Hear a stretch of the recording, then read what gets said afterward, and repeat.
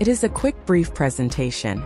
It is a lecture on the Charter Act 1793, its circumstances, main provisions and significance. It is part of the lecture series with links to complete usable answers.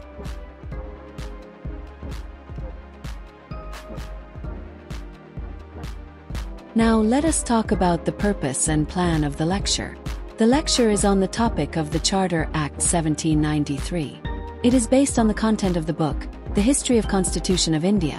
The Charter Acts during the Company rule in India 1773 to 1858, ISBN 13 978-19830468834 with an OCLC number slash unique identifier 1086169936. The link to the online purchase of its ebook and paperback copy is given in the video's description.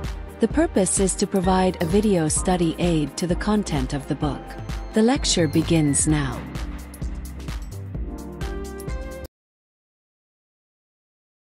The topic of the lecture is the circumstances, provisions, and significance of the Charter Act, 1793. Let us first get a glimpse of the Act in the beginning. By the Act of 1767, the British Parliament allowed the company the privilege to retain territorial possession in India. The continuation of the company was decided in the Regulating Act 1773, wherein it was allowed to exist for the next 20 years. The British Parliament maintained the institution of the Board of Control, which directed, superintended, and controlled the workings of the company. From the Charter Act 1793, a series of charters sustained the company till 1858. In 1793, the Parliament granted the charter to the East India Company of London. This was historic because earlier, the East India Trading Company was getting the charter from the royal family, and by 1793, the Parliament had played that role. The ownership, which rested in the court of the director, felt satisfied that the royal privilege was legally secured by the British Parliament. Let us now study the circumstance leading to enactment of the Charter Act 1793. The Charter Act of 1786 may taken as the first influencing factor. The British Parliament was dominated by such political personalities of Britain who were friends of Lord Cornwallis. The loss of American colonies weighed heavily on the minds of Lord Cornwallis and his friends in the British Parliament. Lord Cornwallis was one of the generals who had surrendered to the American revolutionaries. The British politicians were interested in adjusting Cornwallis to a respectable place. Cornwallis demanded a better say in the British Indian administration as per his status, for which the British politicians had made adjustments to the British East India Company. Next, the Declaratory Act of 1788 was also an influencing factor. Henry Dundas was the first president of the Board of Control. Henry Dundas deputed four royal regiments to India and paid the expenses out of the Indian revenue, which the Court of Directors of East India Company objected to. The 1788 Act transferred the full power and supremacy to the Board of Control, which showed the benefit that the British Empire was getting out of India. The Act transferred the power of the company to the Ministry of the Crown. Next, the directors of the company applied for the renewal. The directors of the company sought the renewal of the charters before the tenure of 20 years came to a close by. The power of the company was gradually being withdrawn from it by statutes like the Declaratory Act of 1788. The monopoly of trade with India held enough attraction to maintain the company by the court of directors and the prestige involved in making appointments in India. It was considered a privilege bestowed upon the court of directors by the royal house. Then, there was the support of ministers to the company. Many ministers in the crown had a direct interest in the existence of the company. They had patronized the company. They had a pecuniary and political interest in maintaining the company. Even there were favorable circumstances. When the company's expiry date approached, Britain got involved in a war with France, and the country's attention was entirely diverted to that war. Some merchants petitioned the parliament to end the monopoly of trade granted to the company. The bill for a new charter was quietly passed in the parliament because of the factors mentioned above.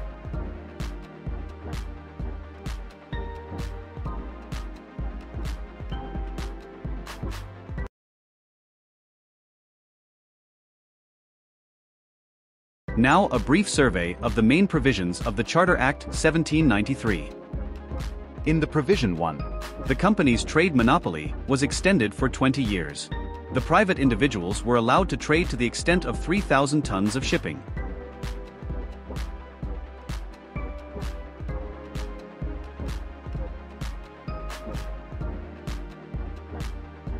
The provision 2.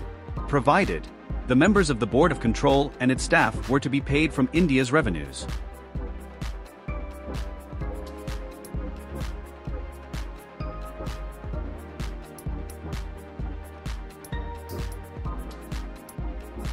As per the provision 3, the Governor-Generals and the governors of the presidencies were empowered to override the majority in their councils. This power was already given to Governor-General Cornwallis in 1788 in the Declaratory Act. The number of members in each council was restricted to three.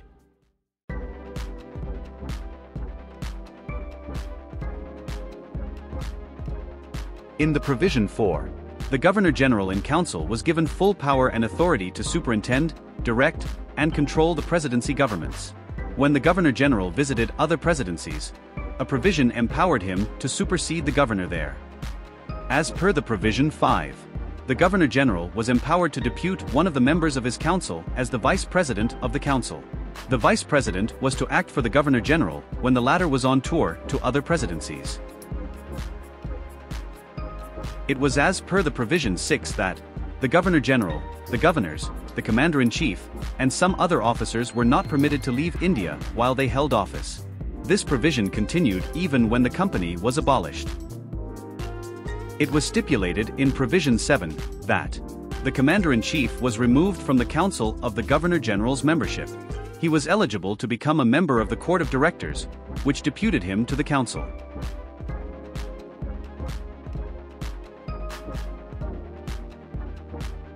In a Provision 8, it was ordained that the Charter reiterated the policy of non-intervention, no further conquests, and no further extension of the territories in India.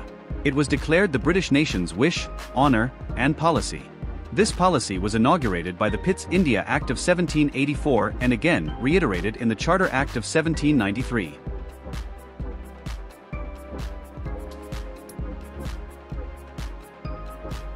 In Provision 9, the rules were laid that the provision ruled that accepting gifts and presents by British subjects holding any office or employment under the Royal Majesty or the Company was unlawful. It was declared an act of extortion and a misdemeanor at law. The rules in Provision 10 were the following. The Civil Service Rule adopted the principles of grading ranks and seniority in service. Promotion to a higher post was made based on the length of service. Only covenant servants of the company were to be given positions with pay over £500 a year.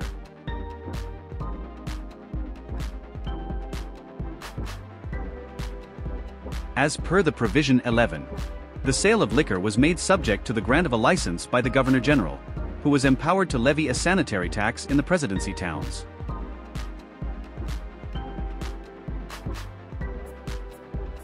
Now, the specific of Provision 12.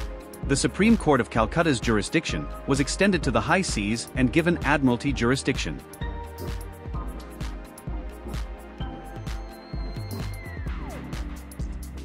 By the Provision 13, the Governor-General was given the power to appoint the members of civil services as justices of peace.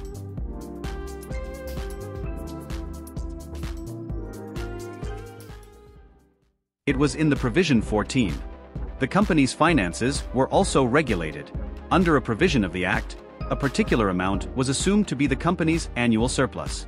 5 lakh pounds were allocated from that assumed fund to pay the company's debts.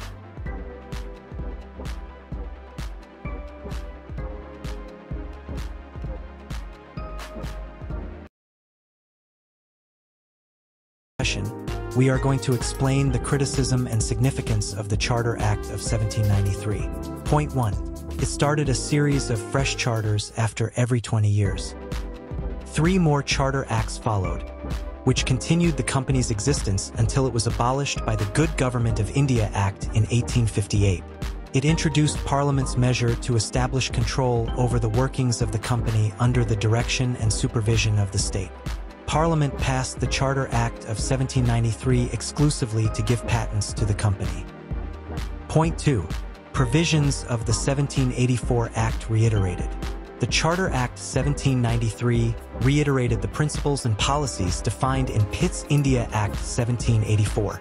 The act stipulated that the company would not follow the policy of territorial expansion.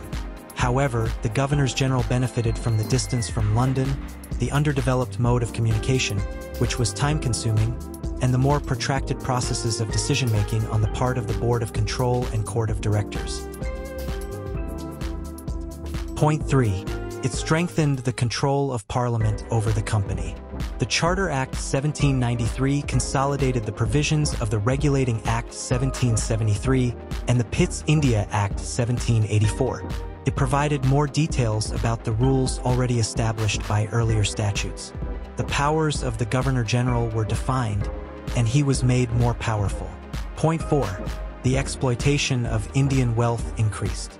The Charter Act of 1793 increased the expenditure of the Indian government. The salaries of the Board of Control were derived from India's revenue. The economic condition of India was deteriorating in the territories which had come under the rule of the Governor-General.